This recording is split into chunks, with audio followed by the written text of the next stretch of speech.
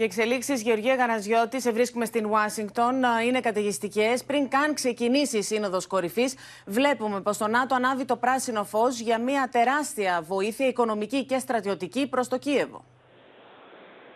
Έτσι, Νέβα, το ΝΑΤΟ θα ενισχύσει την Ουκρανία με πλήθος αμυντικών συστημάτων. Αυτό είναι το βασικό θέμα της Συνόδου. Η ενίσχυση της Ουκρανίας και θα ανακαινωθεί και μεγάλος αριθμός συστημάτων αεράμινας από τις Ηνωμένες Πολιτείες, τη Γερμανία, την Ολλανδία και τη Ρουμανία. Ωστόσο, εδώ και λίγη ώρα, αυτό που συζητάμε εδώ στο κέντρο τύπου του ΝΑΤΟ στην Ουάσιγκτον είναι η μεταφορά που βρίσκεται σε εξέλιξη των F-16 στην, ε, στην Ουκρανία. Άρα λες πως έχει ήδη ξεκινήσει, Γεωργία, η μεταφορά των F-16; Οι πληροφορίες που έχουμε από ανατοικέ πηγές τα τελευταία λεπτά είναι ότι η μεταφορά βρίσκεται σε εξέλιξη. Και αυτό που μαθαίνουμε είναι ότι μετά από την Ολλανδία και τη Δανία και η Νορβηγία είναι η επόμενη χώρα η οποία δεσμεύεται να στείλει F-16.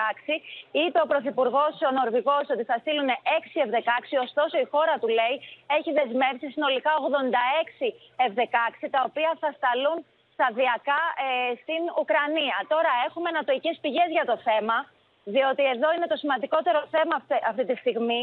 Όλοι οι δημοσιογράφοι συζητάνε γι' αυτό, για τις δηλώσεις του Άντωνι Πλίνκεν, διότι έγιναν ενώ όλοι οι δημοσιογράφοι, Εύα, ήμασταν σε φάση μετακίνησης για να έρθουμε στο κέντρο τύπο και περνούσαμε πάρα, πάρα πολλούς ελέγχους για να μπούμε μέσα. Οπότε αργήσαμε να ακούσουμε αυτές τις δηλώσεις. Ανατοικέ λοιπόν πηγές μας λένε ότι τα F-16 θα ενισχύσουν σημαντικά την άμυνα της Ουκρανίας πλέον η Ουκρανία θα έχει και αυτή πλεονέκτημα. Δεν θα έχει μόνο η Ρωσία την αεροπορική επιρροή, ε, υπεροχή. Και με την αποστολή F-16, το ΝΑΤΟ και οι Ηνωμένες Πολιτείες στέλνουν ένα ισχυρό μήνυμα στη Ρωσία για τη δέσμευσή τους να συνεχίσουν να στηρίζουν την Ουκρανία να υπερασπιστεί την κυριαρχία της. Ενώ είχαμε και δηλώσεις από το Σύμβουλο Ασφαλείας του Λευκού Οίκου, τον Τζέικ Σάλβαν, ο οποίος είπε ότι μετά το πέρας της Συνόδου θα ανακοινωθεί μια σειρά μέτρων ε, για την ενίσχυση της Ουκρανίας μέσω του ΝΑΤΟ θα ανακοινωθεί, λέει, μια νέα στρατιωτική διοίκηση στη Γερμανία για την εκπαίδευση και τον εξοπλισμό Ουκρανικών στρατευμάτων.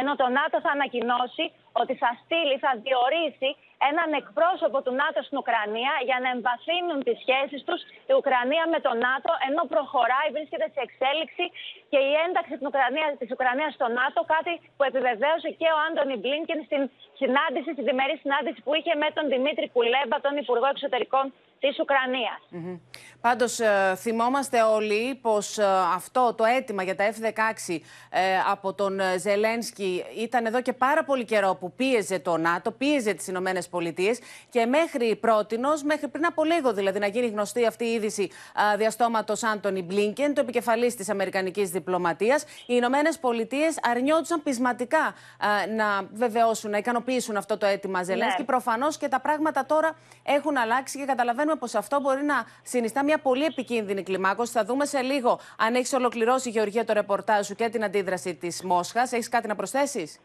Ε, αυτό που ήθελα να πω είναι αυτό που επηρέασε τις νατοικέ χώρες και τις Ηνωμένες Πολιτείες που ηγούνται του ΝΑΤΟ.